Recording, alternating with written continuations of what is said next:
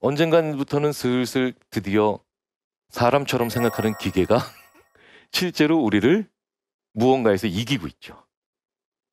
1997년에 논리연산 게임에서 인간이 쓰디쓴 패배를 한번 경험을 합니다. 21년 전이죠. IBM의 딥블루. 그리고 지금 저리 머리 붙잡고 있는 사람은 괴로워하는 사람은 러시아의 게리 카스파로프라고 하는 저때 당시에 세계 체스 챔피언이에요. 사람들의 표정을 보세요. 경악을 금치 못하고 있죠. 괴로워하고 있습니다. 자, 2011년에는 드디어 인간이 퀴즈에 집니다. 아, 켄 제닉스라고 하는 사람이에요. 왼쪽에 있는 사람. 어마어마한 사람이죠. 제퍼디라고 하는 퀴즈 프로그램을 안 보는 미국 사람들도 상당수가 저 켄 제닉스를 알고 있습니다. 제퍼디에서 74주 연속 우승한 인간도 아니에요. 어마어마한 사람이죠.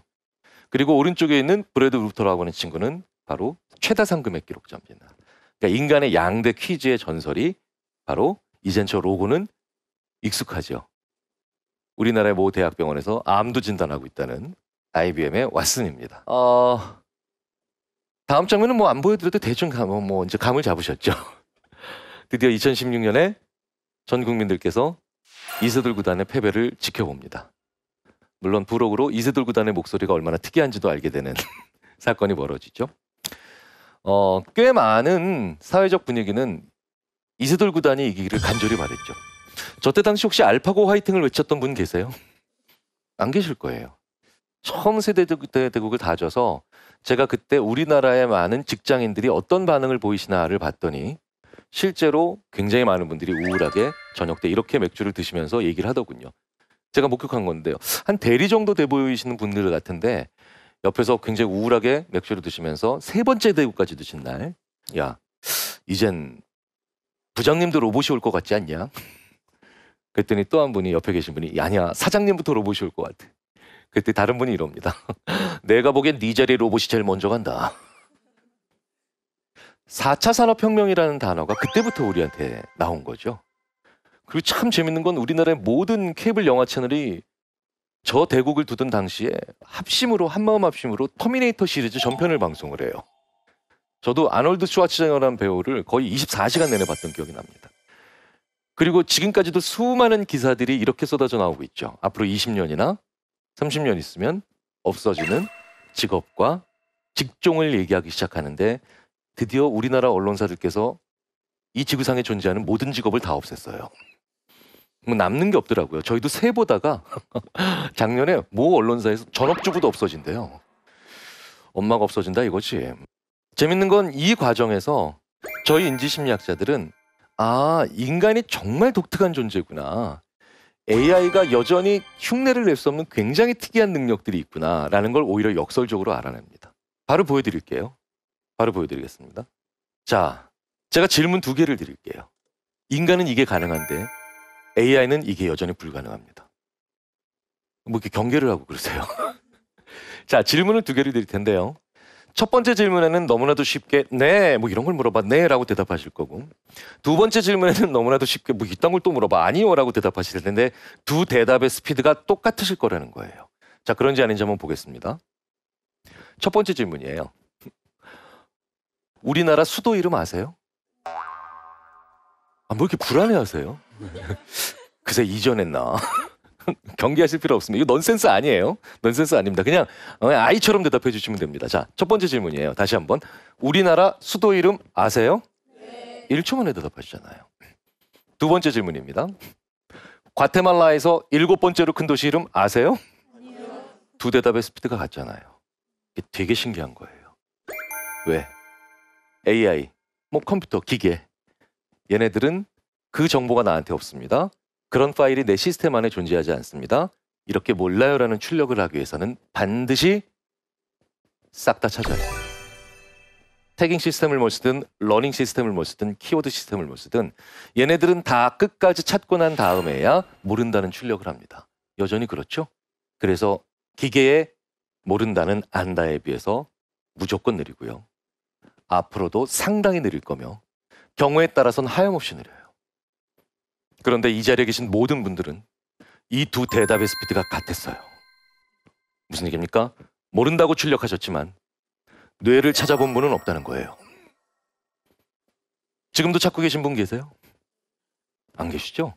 한 분이라도 그런 분이 오늘 이 자리에 나와서 나오신다면 오늘부로 이곳 스튜디오는 유적지로 변경돼요. 왜? 이곳이 바로 인류 최초로 컴퓨터와 같은 방식으로 생각을 하는 휴먼이 발견된 곳입니다. 역사적인 장소가 된 거죠. 근데 아무도 그렇지 않으셨어요. 우리 뇌가 얼마나 넓, 넓은가는 제가 굳이 하드웨어적으로 설명을 드리지 않으렵니다. 그래서 뇌를 묘사하거나 다루는 다큐멘터리의 첫 장면이 대부분 우주죠. 그 우주를 보여주는 이유가 뇌가 그만큼 넓기 때문이에요. 그런데 이 만주벌판보다도 넓은 뇌를 1%가 아니라 0.0001%도 안 찾아보시고 그 정보 나한테 없어. 과테말라에서 일곱 번째로 큰 도시 몰라. 이렇게 출력을 하신 거예요. 더 놀라운 사실을 말씀드릴까요? 실제로도 그 도시를 모르고 계세요. 그러니까 이 판단이 게다가 맞다는 거예요. 인간은 왜 이렇게 독특한 방식을 생각할까요? 시간이 많지 않기 때문이에요. 내가 만주벌판보다도 넓은 나의 뇌를 5년 정도 걸려서 다 찾아볼 수 있다고 칩시다. 그러면 야 경이라 너 과테말라에서 일곱 번째로 큰 도시 이름 알아? 기다려봐. 5년이 있다가 뇌를 싹 다 찾고 난 다음에 어, 몰라. 완벽한 대답이죠. 하지만 인간에겐 쓸데없는 5년이 낭비된 아무런 도움이 안 되는 시간이었어요. 그러니까 우리는 100살을 살든 150살을 살든 인간의 수명이 얼마든 연장되든 무관하게 우리는 유한한 시간을 살다가 이 세상을 떠나잖아요. 그러니까 대답을 빨리 하고 판단을 빨리 하는 게 훨씬 더 중요한 겁니다. 왜? 모르니까 물어보면 되잖아요. 검색해보면 되죠. 배우면 돼요. 우리 인간은 어떤 다음 행동을 할까를 결정하는 게 중요한 개체지 아는지 모르는지를 정확히 판단하는 건 하나도 중요하지 않다는 거예요. 이 어마어마한 기능을 AI에게 인간이 지기 시작하기 전에는 즉 우리가 안다해서 1등일 때는 별로 중요하게 생각하지 않았어요. 그런데 우리는 이제 안다해서 2등으로 내려왔습니다. 하지만 우린 영원히 모른다 해선 AI를 얘기죠.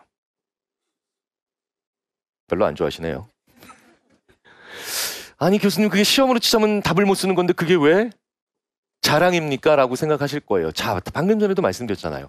모른다가 1초 안에 나오니 다음에 무엇을 해야 되는지도 1초 안에 판단이 되는 거예요. 빛의 속도로 우리는 다음 행동을 결정하고 살아가는 거죠. 이 고마운 기능의 이름을 메타 인지. 인지가 생각이죠. 인간은 자기 생각을 보는 생각을 하나 더 가지게 된 겁니다. 내 안에 내가 하나 더 있는 거예요. 그게 메타인지입니다. 메타라는 말이 붙으면 더 위에 있다는 더 상위의 개념이거든요. 그래서 내 안에 내가 하나 더 있는 겁니다. 그래서 저희 인지심리학자들은 2003년에 모 방송사에서 방송 했던 파리의 연인이라는 드라마를 보다가 미쳐버리는 줄 알았어요. 거기서 이동건이라는 배우가 말도 안 되는 대사를 하죠. 내 안에 너 있다. 이 얘기는 너의 메타인지가 나한테 생체 이식 됐다는 얘기예요. 충격적인 얘기죠. 인류 역사상 단 한 번도 가능하지 않았던 이식 수술이 성공했다는 얘기인데 그런 어마어마한 일을 그쵸? 잘생겼다고 그렇게 함부로 해도 되는 건 아니에요. 자, 이 메타인지는 그런데 도대체 만주벌판보다도 넓은 나의 뇌를 어떻게 1%가 아니라 0.0001%도 안 건드려보고 과테말라에서 일곱 번째로 큰 도시 이름을 모른다. 즉 찾아볼 필요 없다. 그 정보 존재하지 않아라고 자기 인지에게 즉 주인에게 알려줬냐는 거예요. 의외로 엄청난 일을 해내고 있지만 작동 방식은 간단합니다. 과테말라가 안 친해요. 과테말라 안 친하시죠? 그래서 메타인지는 안 친하니 몰라요, 못해요, 자기 주인에게 1초 만에 대답해 주는 겁니다. 대한민국은 친하거든요. 이 메타인지는 오로지 친숙함이라는 것만 보기 때문에 그래서 판단이 빠른 거예요. 그리고 인간은 그렇기 때문에 저 메타인지 때문에 오히려 어중간하게 친한 것에 대한 판단이 더 어려워지는 겁니다. 자, 보세요. 야, 너 미국 대통령 이름 알아? 친하죠? 쉬워요. 너 룩셈부르크 대통령 이름 모르지? 어, 몰라. 쉬워요. 이건 너안 친하니까? 가운데가 어려워요. 야, 영국 총리 이름은 뭐냐? 기다려봐. 마가렛 대처 돌아가셨다 이놈아. 아 그런가? 어, 돌아가셨네 벌써. 음. 요즘은 또 이런 사람도 있어요. 브렉시트 아니냐? 막 이런 사람도 있어요.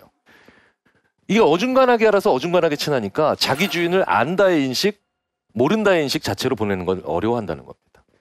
우리 인간의 일상생활에서 일어나는 정말 많은 일들이 이 메타인지 때문이에요. 이것도 메타인지 때문이에요.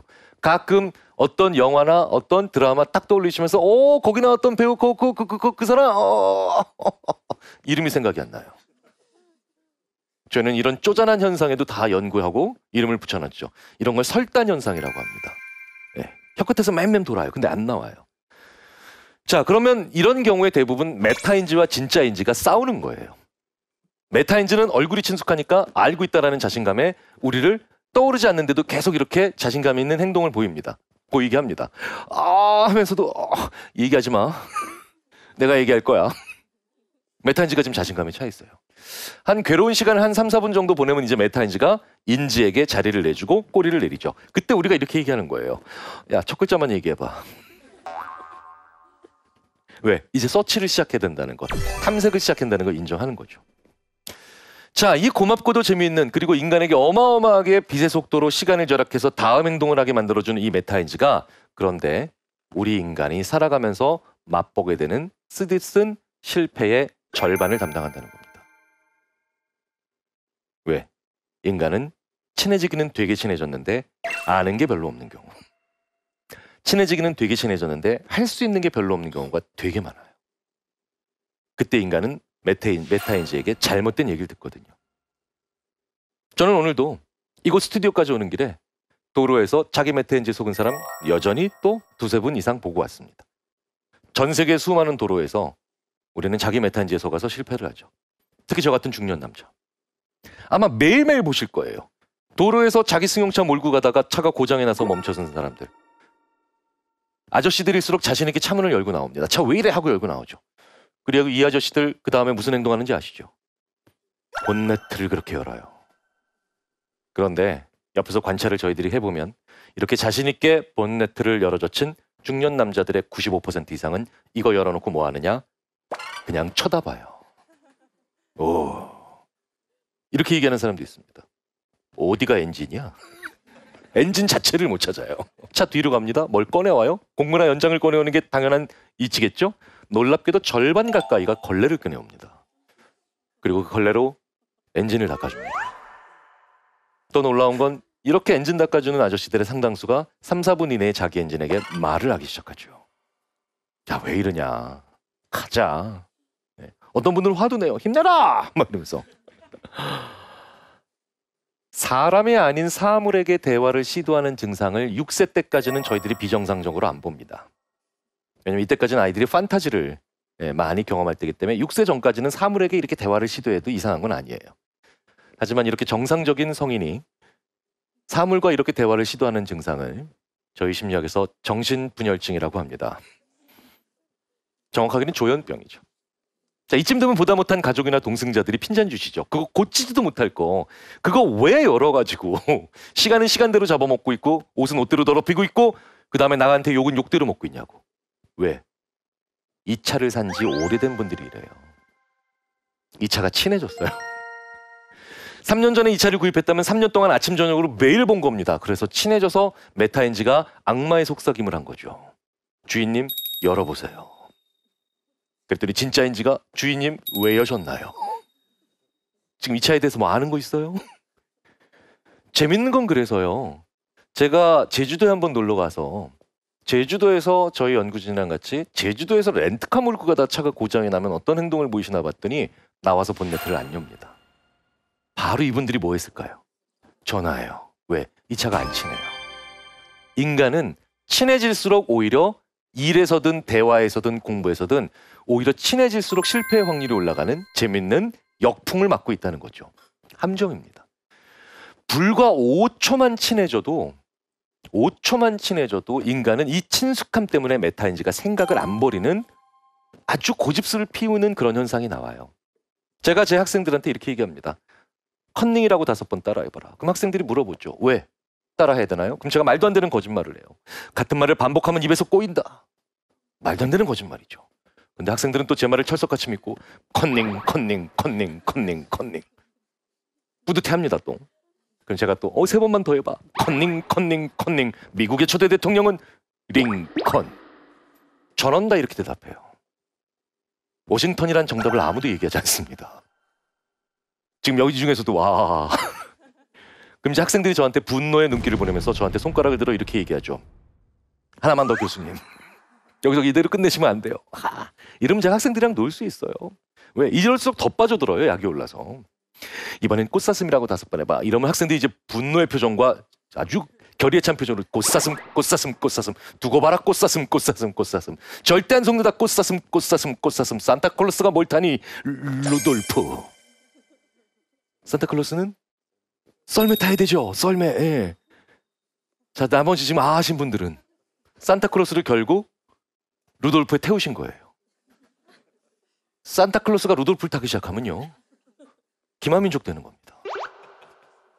근데 이런 분들이 또 계세요. 방금 전에 저 뒤에서 몇 분이 이거 하셨어요.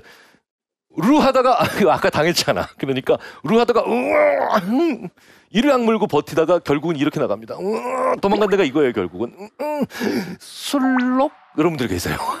나왔다니까요 아까. 이걸 제가 몇십 개씩 해도 계속 못 빠져나와요. 아, 직접 당해 보셔야 남들도 속이기가 쉬워집니다. 그렇죠? 네. 확장판으로 한번 제가 가보겠습니다. 자, 개구리라고 다섯 번 해보겠습니다. 자, 개구리 다섯 번 시작. 개구리, 개구리, 개구리, 개구리. 아, 뭘 또 마음에 준비를 하고 그러세요? 자, 세 번만 더 크게 시작.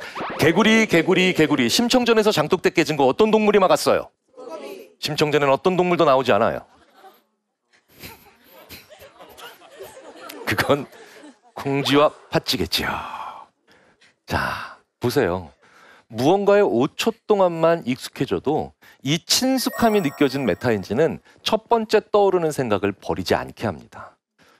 그런데 이 5초 동안만 무언가에 취해져도 이런 현상이 일어나는데 5초가 아니라 5일, 5주, 5개월, 5년 이렇게 무언가에 오랫동안 친해지면 그분의 메타엔진은 첫 번째 떠오르는 생각을 절대 기각, 즉 버리지 않게 하는 옹고집, 완전 고집을 피우겠죠. 그런 분들을 저희 인지심리학자들이 뭐라고 부르느냐? 이 세상의 모든 분야의 전문가라고 불러요.